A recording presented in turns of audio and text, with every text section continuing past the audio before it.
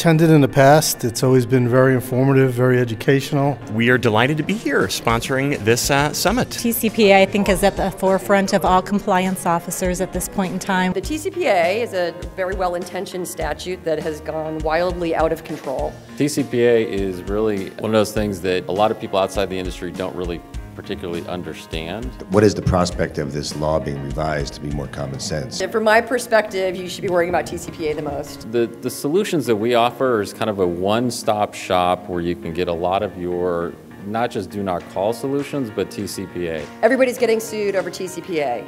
It's an area, it's a hot, hot area of litigation. Plaintiffs' lawyers are getting super rich off of this.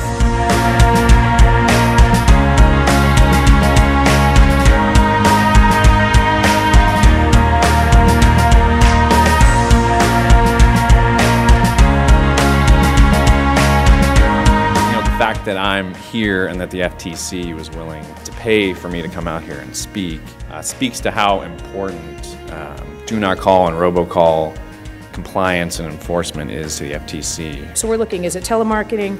If it is, do we have permission? If it is, we don't have permission, do we have an existing uh, business relationship? And if we don't have those things, then we're going to be required to scrub against the do not call list.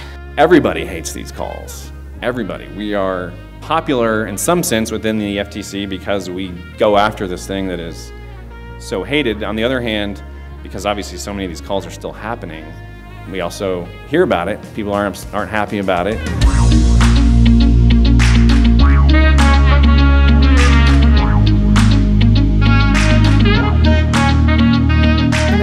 Violation is not speaking to a consumer, who's on the do not call list. The violation is placing that call. You know, my division has about 45 people and any given time. We have lots of different attorneys and investigators working on do not call investigations and litigation. I will tell you, contact center compliance I know has a service that will allow you to cleanse your internal do not call list. If this is something you are concerned about and you're not comfortable taking your records off five years, I highly recommend you use one of these cleansing services. Otherwise, your internal do not call list can get out of control.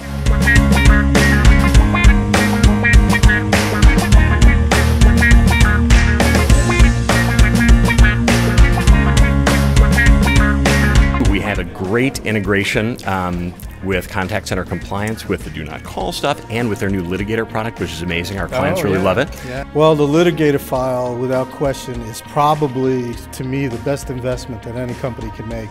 It would be the best money you've ever spent.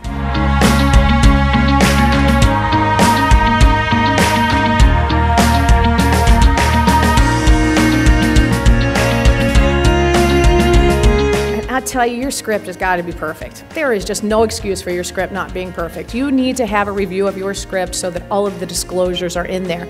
Because the first thing that somebody like Will or a state AG is going to ask for is a copy of your script. And if you have an error in your script, every call you have placed is going to be wrong. They've been a friend to us and um, glad to have them on our side. It doesn't matter what your intent is. If you place a call, send a text message, send a, a fax advertisement that does not exactly comply, you're liable. At the end of the day, it's all about being in compliance, and that's why we're here.